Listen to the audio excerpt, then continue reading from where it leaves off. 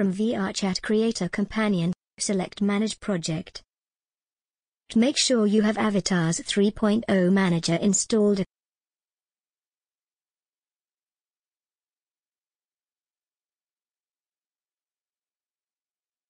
Extract zip file and launch the Unity file.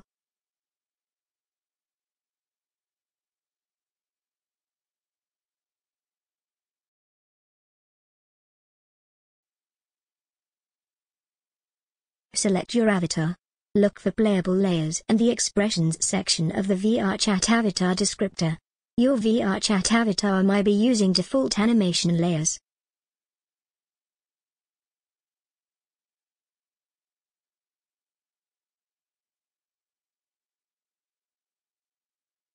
You can use the animation layers which come inside the drums, anims, folder.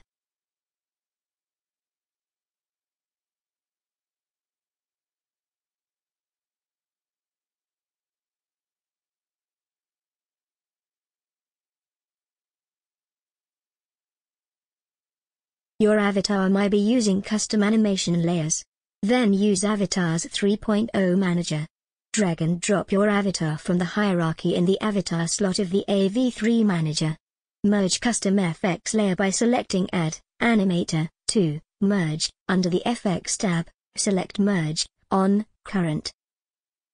Do the same for custom parameters,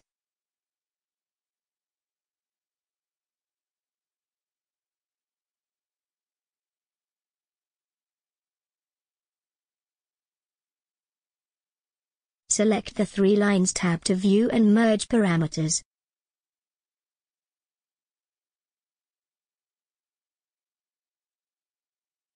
Drag and drop drums par into the parameters to copy slot. Select Copy Parameters.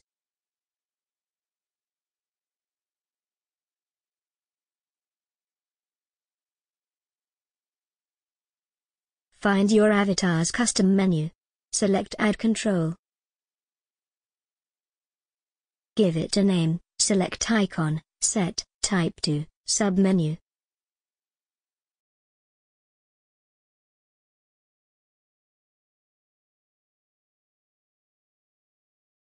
Drag and drop the drums menu from drums, anims, folder, into the submenu slot of your newly made control. Let's install the rest of the drum set. Start by drag and dropping the drums prefab above your avatar in the hierarchy. Unpack the prefab by right-clicking on Drums Prefab, Unpack. Move the drums prefab onto your avatar. Expand drums, container and move AVI target above the drums prefab in the hierarchy.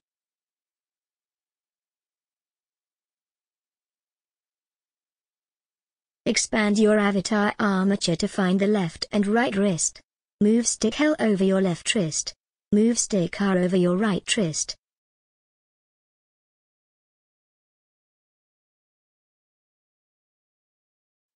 Move each stick so that they are between the thumb and finger.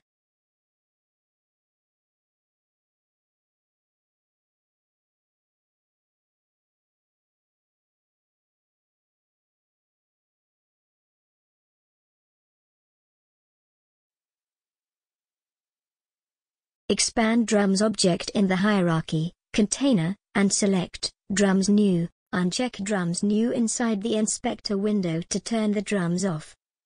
Test your avatar using Gesture Manager or upload to VRChat server. Enjoy!